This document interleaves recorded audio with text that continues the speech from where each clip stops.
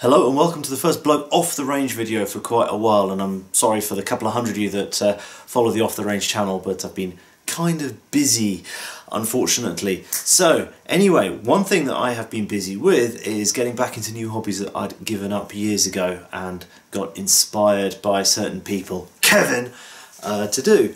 So I got myself a couple of nice new guitars and uh, was looking into the mechanics of it and ran across the uh, Reloved Guitars YouTube channel by Sam Deeks, who uh, seems to be an excellent chap and explains really well the mechanics of what's going on in guitars and how to set them up properly.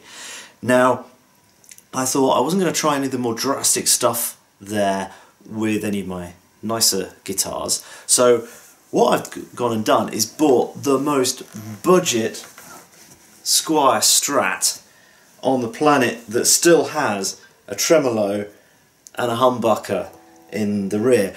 This is Indonesian made and it cost in Switzerland all of 123 francs, that's under 100 pounds and I'm amazed that they can make a guitar for that kind of money and sell it in Switzerland and make profit. It's really quite impressive. That's not to say that it's a particularly great guitar. That's part of the point though. Uh, what Sam does a lot of is turn some extremely budget guitars into some really nicely playable instruments. Okay, the the the um, the wood's not as expensive and what have you, but uh, he's really good at setting them up. And uh, one of these days, I might even treat myself to one of his uh, custom creations. But for the minute, this is basically my beater guitar. I have a Beta K31. This is my beater guitar for practicing setup.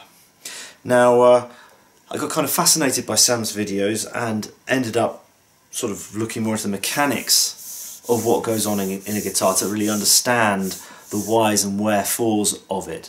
Now, most guitars out of the factory are set up pretty badly. Uh, it's a question of cost, it's a question of the labour time that goes into setting one up well. You look at the, some Sam, posts a lot of unedited videos that can be hours and hours long and it'll take you through the entire setup from A to Z of a guitar. And you just can't put that kind of um, that kind of time into a guitar and then sell it for, 100, for under 100 pounds in Switzerland. It's really quite impressive. So we want to view everything kind of through a prism of the, of the fact that this is an extremely cheap guitar. Saying that, it's not bad. Uh, my first electric guitar was in fact a uh, Korean Squier Strat that we got second hand in about 1994 for about 120 pounds. So uh, it's amazing, things have moved on. This particular one is a Squier Bullet Strat. The cheapest ones are hardtail, no tremolo, and uh, three single coils. I deliberately wanted this because as a project I would quite like to set it up if I can get the action nicely to be a bit like a sort of uh, early Porcupine Tree Steven Wilson guitar with a piezoelectric bridge pickup and that makes some quite convincing acoustic sounds all in one guitar. Um, maybe we'll get onto that. Slight problem is that a Fishman piezo uh, bridge costs about twice as much as this entire guitar does. So we shall see. The first thing will be setup. Now uh, I'll just quickly go over what's alright and what's not alright about this so far. Tuning wise, it's not too bad. The machine heads are kind of cheap and nasty. They're kind of sloppy, there's a lot of backlash on them. They're probably going to be replaced at some point. The the woodwork on the neck, it's it's pretty it, it's it's it's it's pretty good. It's, it's for the money. It's uh, it's not warped in any way. It's uh, it's flat. The setup out the box wasn't too bad. Um, now, the pickups are, this is the humbucker, clean.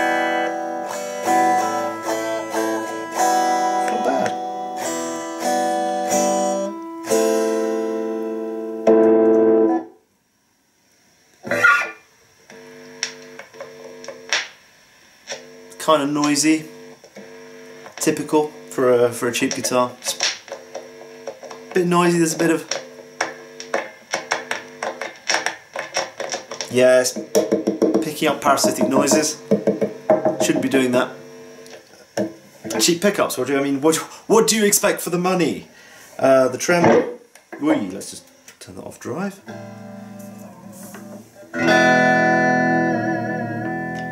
Trem's not bad. It's not set up floating. I don't like it floating anyway.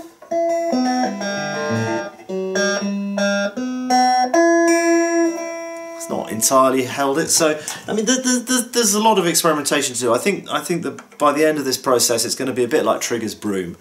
Um, everything's going to have been practically everything's going to have been replaced on it. We're probably going to end up ultimately with just the the pick guard, the body, and the neck being the same. Everything everything else off. But the point is to practice on a guitar that if I junk it, it doesn't matter. It's not expensive. Interestingly, that's gone sharp.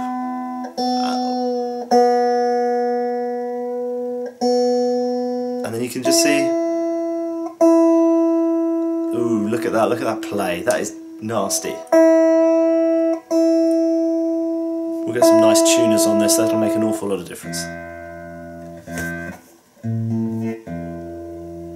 So, let me just, uh, excuse me a minute while I just get this back into tune. Yeah, so those tuners are nasty and uh, this really is the handle of death on this. Now, uh, we can fix that up to a certain degree with a bit of graphite up here but to reduce friction and so on but uh, that's pretty nasty so they're going to go the bridge if I put a Fishman um, piezo in it's definitely going to go if not we might just live with it um, now the interesting stuff basically with a normal sort of factory setup you're going to have a few issues going on there you might have string buzz unless they set it really high. This one's not too bad. Um, you are probably going to go sharp at the first fret.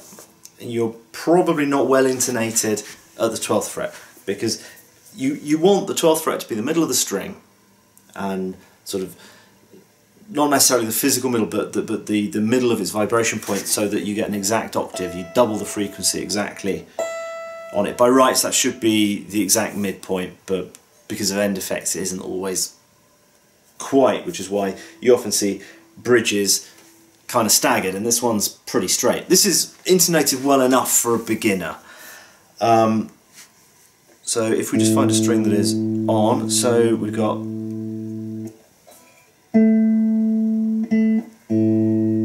so we are bang on there, green. Well, we were bang on till I turned it over. Let's try and turn it that way around. bang on, and then we're sharp, just. I can't I can't see it, but uh, you can. Uh, turn on the side.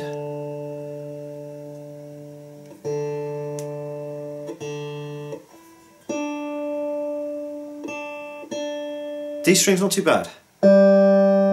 G string. Oh G string's going way high. Hold my T and watch this. So.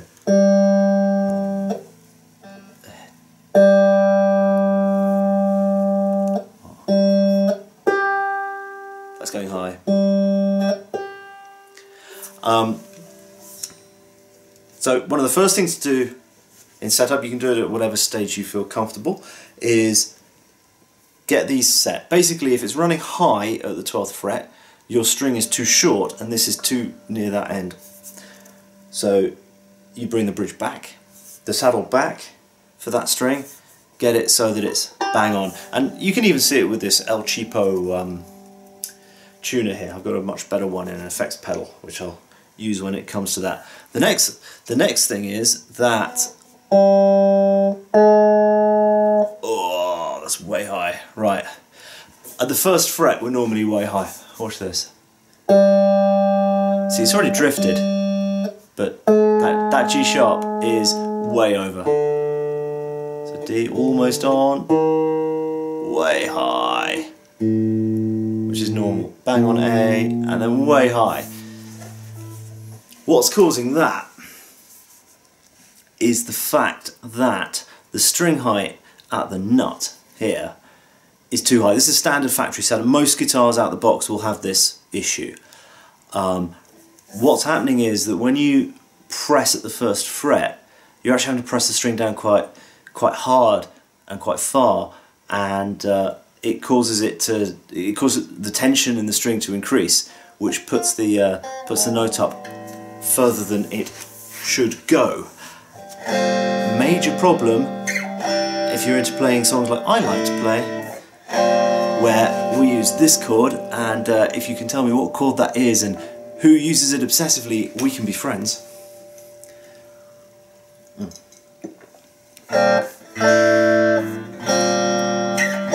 Basically, that chord, if you're going sharp, which you are there, it sounds like absolute arse. Ooh, and that's the tension in there. It's got a lot of flex in that neck actually. I'm not putting a lot of force into that. Hmm. So, the next thing we got is the next thing we've got is overall action height. And if you look at that, this isn't too bad on the overall height. It can come down a bit, and there's two ways we can act on that.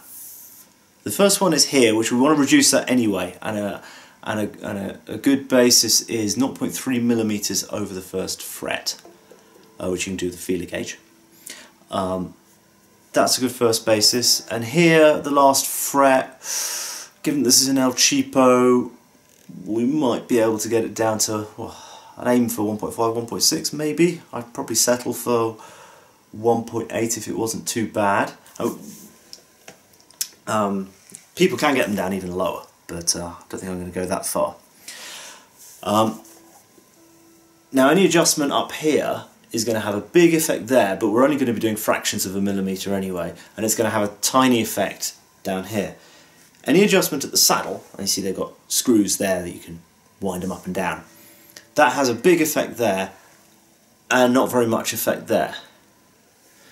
So what we're probably going to do is um, neck relief, which I'll get onto in a minute, then that, then that, and then we will see how low we can get it without buzzing. Now, neck relief, the neck isn't flat and shouldn't be flat.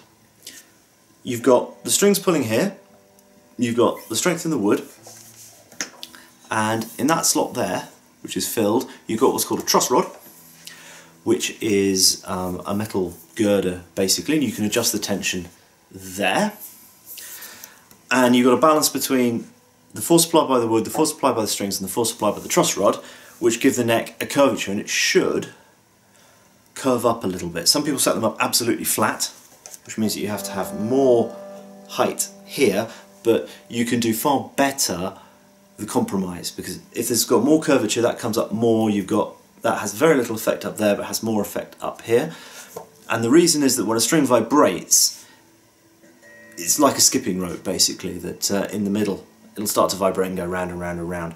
Um, you're giving it some clearance to do that without having to just jack that up manically. Um, so um, this one to be honest, it, out the out the box, the, the, the truss rod was loose. And the only thing I've done to it so far is I've just tightened it a bit, and you can uh, press the string down gently like that at the last fret, and then vibrate it. See if it vibrates cleanly. See if it buzzes. That's not bad. Um, various figures for this are sort of a 64th of an inch halfway down seems to be a reasonable uh, reasonable clearance. Part of it's taste if you like it flatter or like it looser, but you'll get uh, you get more leeway if there's more of it, but you don't want too much of it because that raises the whole action. So that's not too bad. Now what actually causes buzzing is the string hitting a fret. Um, if the frets aren't level, it's more likely to hit, and in a really bad case it can choke. Uh, what choking is is if you, you you press one note and then say say that fret or that fret is significantly higher than that one, pressing down there will actually hold the string up there and play play a different note to the one you're trying to play. we will see what this is when we get the action down, but uh, what we can also do is what's called fret leveling. Now it used to be thought that you had to take the neck off and make sure it was absolutely level and then file them flat. Uh, what Sam has been big in promoting is use of what he calls the banana, which is basically a truss rod and you stick um, sandpaper on it and then you can actually level it in situ. By turning by turning this nut here we can actually influence the curvature of it. We can match the curvature to the neck and then we can sand the flat. We, we, we can sand the frets down with the strings in situ with the correct tension on the neck and it's far more accurate. Uh, Sam's popularised that a lot and it seems to work very well. So we shall if we need to do it we shall we shall try it on this. Um,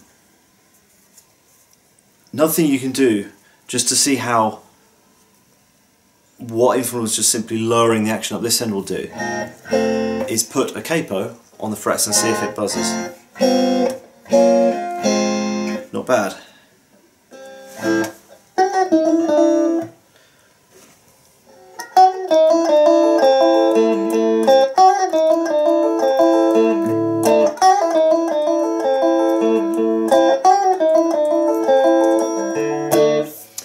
This has promise. This might not need levelling.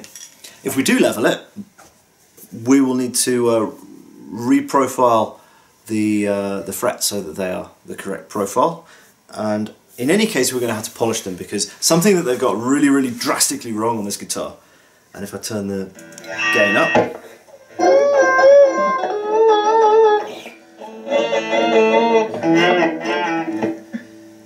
these frets are rough. So any, any bending, any bending at all, and they are scratchy, scratchy, scratchy, nasty, scratchy. For a beginner, it's fine. Um, you're not going to be doing much much bending anyway, and they'll wear in. They will wear in. The uh, you you basically the string is going to burnish the frets over time, so it's not the end of the world, but that is for me utterly unsatisfactory.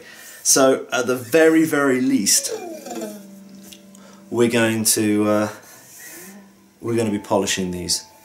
At the worst, we'll be leveling them, recrowning them, and then polishing them. But uh, we'll take this one step at a time. We'll take it video by video and uh, see how the setup with this goes. Now, I've done fiddling with the bridge before, I've done fiddling with the nut before, I have not fret leveled before. So if we end up fret leveling, you'll be learning along with me. Poor you. So uh, there we go. If any of that is at least vaguely interesting to anyone, please uh, subscribe to the channel if you haven't already done so and follow along with my attempting to make a satin purse, I won't say silk purse, a satin purse out of a surprisingly good sow's ear for the money. So stay tuned for that. Bye.